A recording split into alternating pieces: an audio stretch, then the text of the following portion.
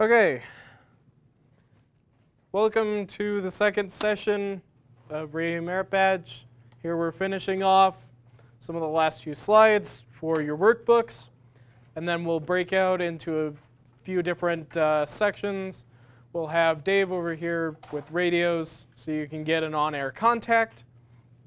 Uh, I'll be over here signing off workbooks, and my dad will be showing off pictures of WWV and WWVH. No, not H. No, B. You did not go to Hawaii without me. I have not gone to Hawaii. Um, so yeah, we'll have those up after the slides. Um, so you can get most of the stuff signed off. Uh, a couple people today have already punched their ticket out of here and uh, gotten all the requirements signed off. So it is possible. Okay, starting off here with transceivers. Uh, obviously, you're going to want different types of radios for different purposes. If you want something for your home station, you're going to want something with a bit more power, but with more capabilities and power, you're going to have a lot more weight. Like this guy in the bottom left here, that's a base station. It's going to be heavier, but will perform better than other radios you'll find. Um, this other one pictured is a mobile radio.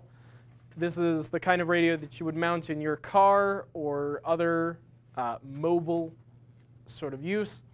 Uh, and then, like these that we have on the table, handy talkies or handheld transceivers. They're the most portable, but the general lowest power. Yes? No question. Okay. Send it on.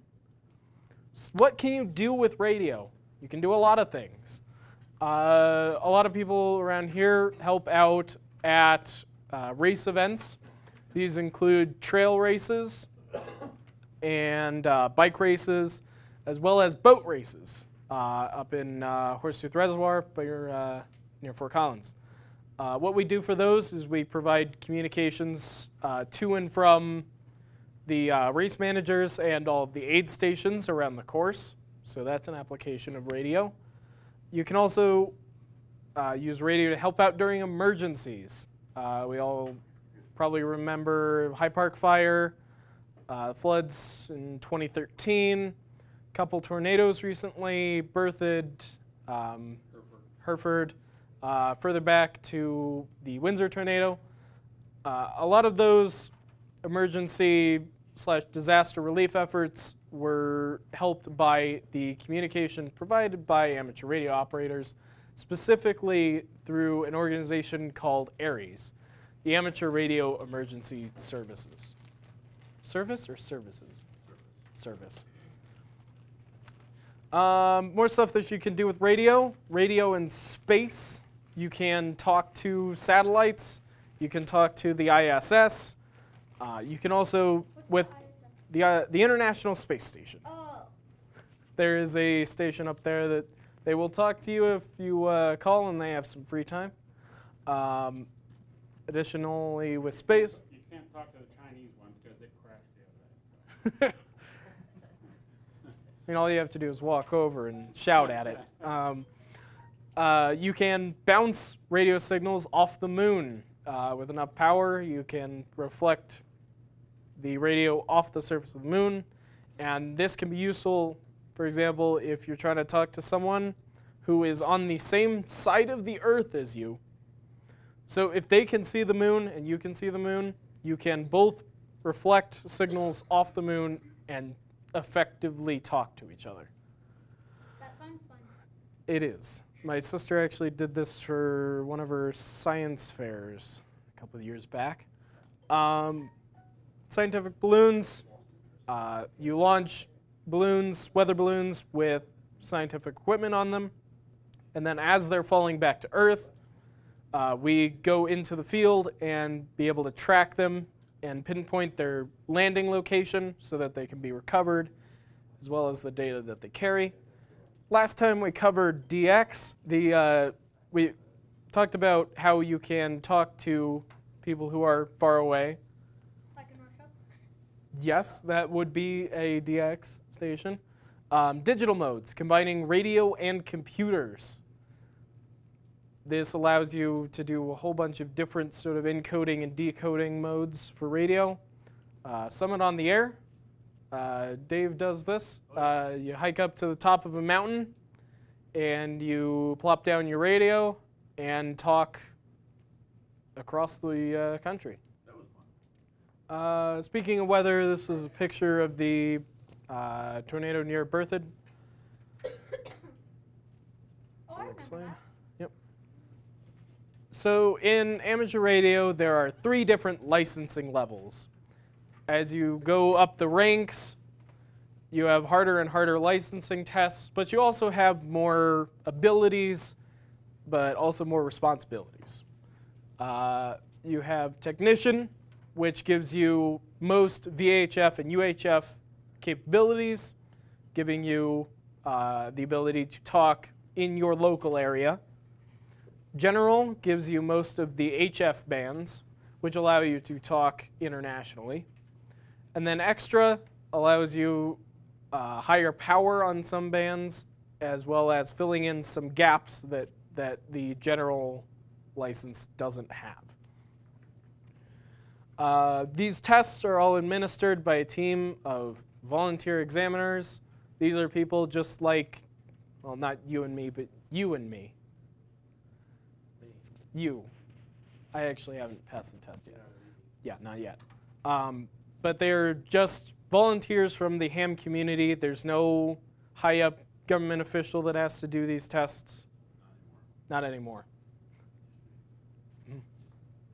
So, Q signals. Uh, these aren't typically used on voice modes, but in CW they are very prolific. Can I go to the? Yes. So for CW, because it is a mode that uses a series of tones for letters and not necessarily words like voice, you have a lot slower uh, communication if you spell out every word.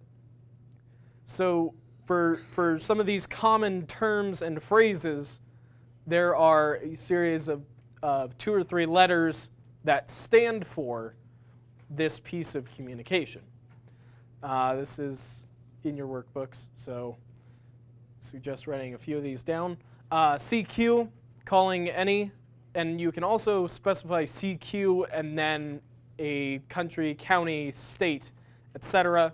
So if you were doing a contest and you wanted someone who was operating in Canada, you could just call CQ Canada, and people would know that you're calling for stations in Canada. Uh, CW, continuous wave, also known as Morse code. Uh, DE is sort of a from tag saying, um, this is who I am, this is who is talking right now. Uh, DX, cover this long distance. SK, out, over, done with transmission. Uh, WX, abbreviation for weather. 73 is sort of a salutation, sort of best regards.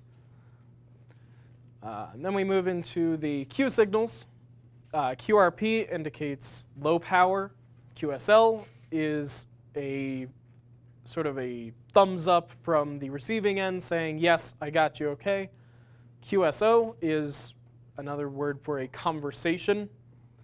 QSY, you say this to indicate that you are changing frequencies. So instead of uh, keying out, I'm changing to frequency, and then the numbers, you can say simply QSY and then the frequency. Uh, QTH, your location at that time. So for emergencies, you also want to increase speed of uh, conversation, obviously to help save lives.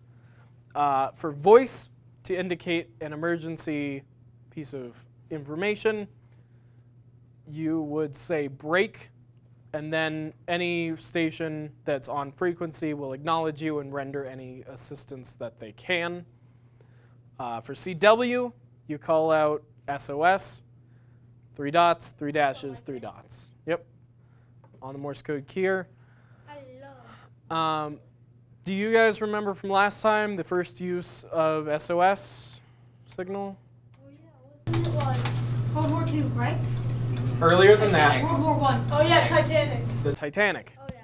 1912. So that was the first use of SOS as an emergency signal. Is that the last? It is. So here we are on to the, the breakout sessions. Uh, Dave will try and raise someone on the radio here for you to talk to. We'll be over, over here signing off your workbooks. And we'll have some pictures of stations up on the board.